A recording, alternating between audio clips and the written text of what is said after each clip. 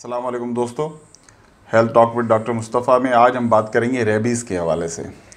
گزشتہ دنوں، کتوں کے، کتے کے کاٹنے کی وجہ سے جو بیماری ہوتی ہے ریبیز جسے ہم کہتے ہیں، اس کے کافی کیسز سامنے آئے ہیں اور اس سے کچھ اموات بھی ہوئی ہیں۔ ریبیز ایک وائرس ہے جو، کتے کے کاٹنے سے ہمارے پاس، ہمارے ملک میں موسٹلی کتے کے کاٹنے کی وجہ سے ہوتا ہے، لیکن تمام دودھ پلانے والے جانور جتنے بھی ہیں، بلی، گائے، بھینس، گھوڑا، گدھا چمکادڑ، ان سب کی وجہ سے ریبیز ہو سکتا ہے۔ امریکہ میں چمکادڑ کی وجہ سے بہت زیادہ ریبیز ہوتی ہے۔ ہمارے پاس عموماً دیکھا گیا ہے کہ کتے کاٹنے کے بعد ریبیز ہو جاتی ہے۔ ریبیز ہمارے نروس سسٹم پر فوراً جو ہے وہ اثر انداز ہوتا ہے، ہمارے دماغ پہ اثر انداز ہوتا ہے۔ اور اگر ریبیز ہو جائے تو اس کا کوئی علاج نہیں ہے۔ پھر وہ شیور ڈیتھ ہے اس کا کوئی علاج نہیں ہے۔ پوری دنیا میں اب تک ایسے پانچ کیسز دیکھے گئے جو ریبیز ہونے کے بعد بچ سکے۔ اور وہ بھی ان کو بہت آئی سی یو میں آئسولیٹ کر کے مختلف قسم کی ویکسینس لگائی گئی اور اس کے اندر بہت ساری تھیوریز دیکھی گئیں کہ شاید ان کے والدین جو تھے ان میں کوئی ایسی امیونٹی تھی جس کی وجہ سے وہ بچے۔ لیکن اس کے بعد بھی جتنے بھی ٹیسٹ کیے گئے، ریبیز کا کوئی علاج دریافت نہیں ہوا۔ ریبیز ہونے کے بعد اس کا کوئی علاج نہیں ہے۔ ریبیز ہو جانے کی نشانیاں یہ ہوتی ہیں کہ ہوا سے ڈرتا ہے انسان، پانی اس کو پلایا جائے تو وہ ڈرتا ہے۔ یہ دو نشانیاں اگر ریبیز کتے کاٹنے کے بعد کسی کو ریبیز ہو جائے اور اس میں یہ دو نشانیاں ظاہر ہو جائیں تو وہ شیور ڈیتھ ہے، پھر اس کا کچھ بھی نہیں کیا جا سکتا۔ اب اس میں کچھ یہ چیزیں ہیں کہ لوگ یہ سمجھتے ہیں کہ جیسے ہی کتے نے کاٹا تو کتا اگر پاگل ہے تو ویکسین کروانی ہے ادروائز نہیں کروانی۔ ہے آپ کو کیا پتا کہ کتا پاگل ہے یا نہیں؟ ایک کتا آیا، اس نے بائٹ کیا، چک مارا اور وہ چلا گیا۔ اب یہ ذہن میں رکھیے کہ کتا کاٹ لے، آپ کو پنجہ مار دے، یا ایون یہاں تک کہ صرف چاٹ بھی لے، تب بھی احتیاطاً آپ ضرور کسی نہ کسی ایمرجنسی، قریبی ایمرجنسی میں جائیں، وہاں پر جا کر بتائیں، وہ آپ کا چیک اپ کریں گے اور ضروری ہوگا تو ویکسین لگائیں گے۔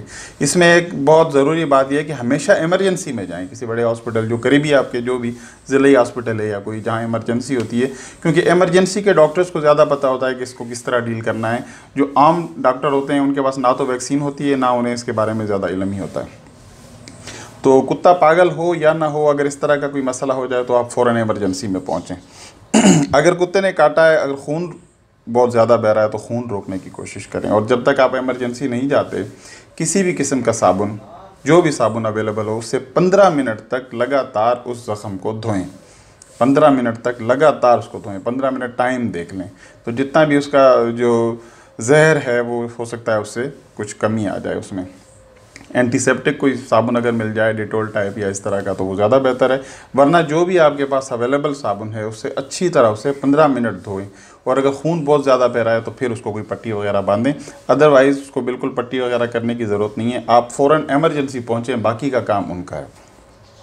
کچھ لوگ مرچیں لگاتے ہیں، سکہ باندھتے ہیں، تعویذ کرتے ہیں۔ اب اس میں وہ دو چیزیں ہیں کہ اگر کتے کو ریبیز تھی تو پھر تو ان چیزوں کا کوئی فائدہ نہیں ہوگا۔ لیکن اگر عام کتا تھا اور اسے ریبیز نہیں تھی تو پھر یہ چیزیں کام کر جاتی ہیں کیونکہ وہ زخم ہی ہوتا ہے، ٹھیک ہو جاتا ہے۔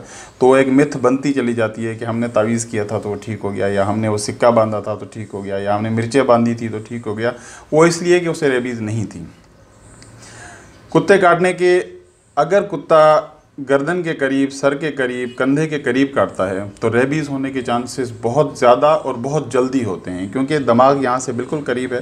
تو اگر ان جگہوں میں کتا کاٹتا ہے تو آپ کو فوراً بالکل دیر نہیں کرنی چاہیے اور فوراً ایمرجنسی پہنچنا چاہیے۔